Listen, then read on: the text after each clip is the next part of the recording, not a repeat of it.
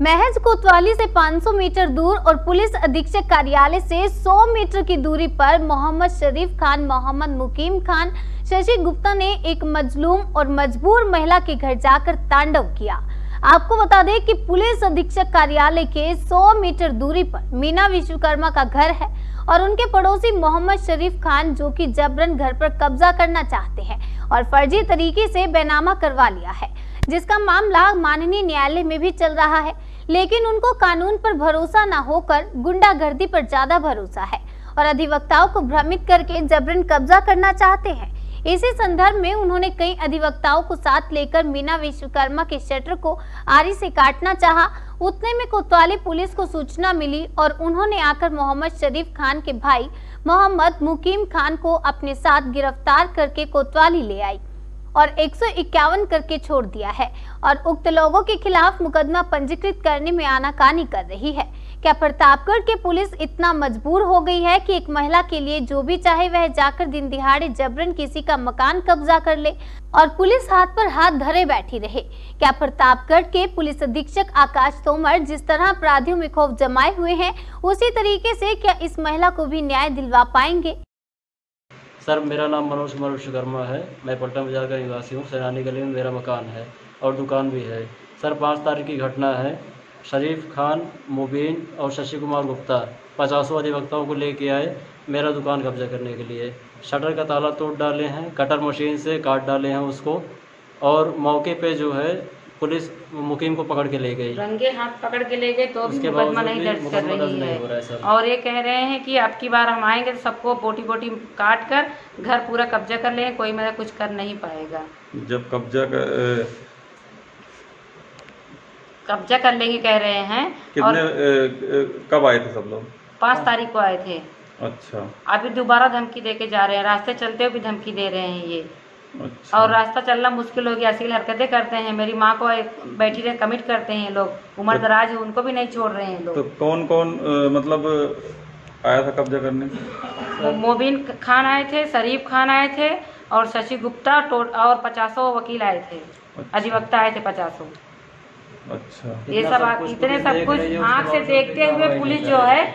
कोई कार्रवाई नहीं की कोतवाली जाओ सीओ के पास जाओ और एसपी सर के पास जाओ हम सबके पास चक्कर ही काट रहे हैं, कोई सुनवाई नहीं हो रही मेरी। क्या हम जब मर जाएँगे तब करेगी सुनवाई मेरी? अच्छा, मुकदमा नहीं लिखा जा रहा है। यहाँ से कोतवाली वाले रंगे हाथ पकड़ के ले गए जी हाँ, सर, कोतवाल कोतवाल सर खुद ही पकड़ के ले गए हैं। किसको? मोबिन को शटर काट रहे थे वो। तो आपने पूछा नहीं कि मुकदमा क्यों नहीं लिखा गया? पूछे अभी पंद्रह दिन से हम लोग चक्कर ही काट रहे हैं। यहाँ जाइए सीओ के पास जाइए फिर वहाँ एसपी के पास जाइए। बस यही कर रहे हैं। कह रहे हैं कुछ होगा नहीं जाइए। अच्छा। सर सीओ साहब का आदेश है। ये देखिए। उसके बावजूद भी कोतवाल साहब रिसीव किए हैं। इस पर मुकदमा नहीं लिखा जा रहा है। बोल रहे मुकदमा नहीं लिखा जाएगा।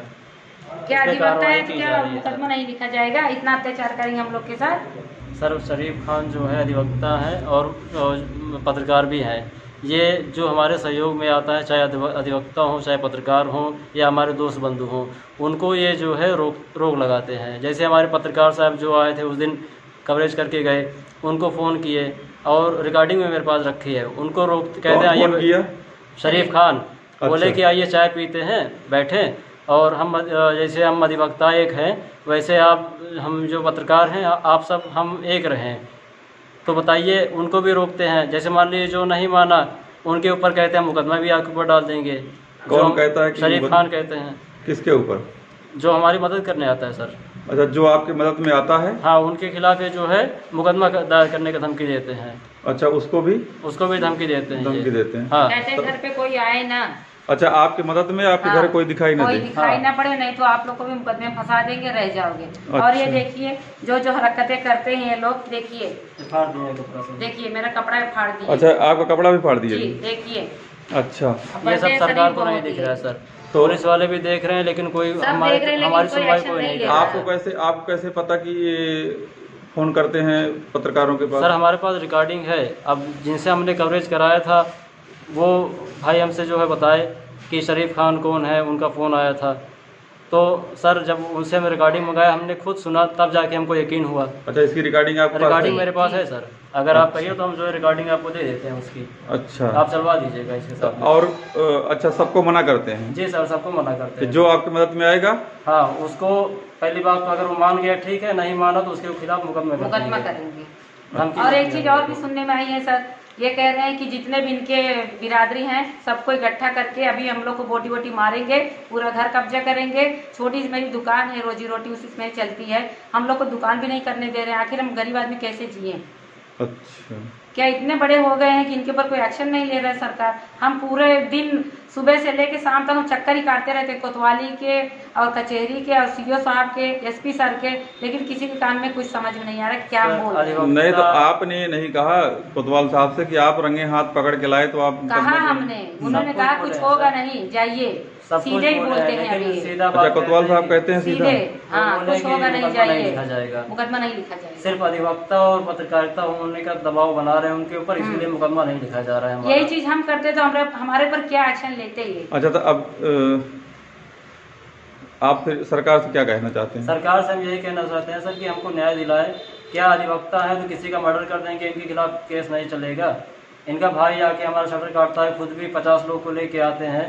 तो क्या इनके खिलाफ इनको दंड देने का कोई मतलब नियम में जो है वो नहीं है क्या इनका? शरीफ खान बोले हैं सर कि मु- सटर भी काटूँगा मुकदमा भी एफ़ आई भी तुम्हारे नाम दर्ज करूँगा। अच्छा। इतना कह के तब सटर पे तुरंत काटने लगे दोनों मिलके भाई।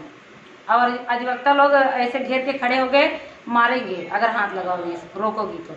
यहाँ तक की वीडियो बनाए नहीं दे रहे थे। चलिए। पता ही मेरे घर में कोई है नहीं कैसे अत्याचार करेंगे अधिवक्ता है तो। ठीक।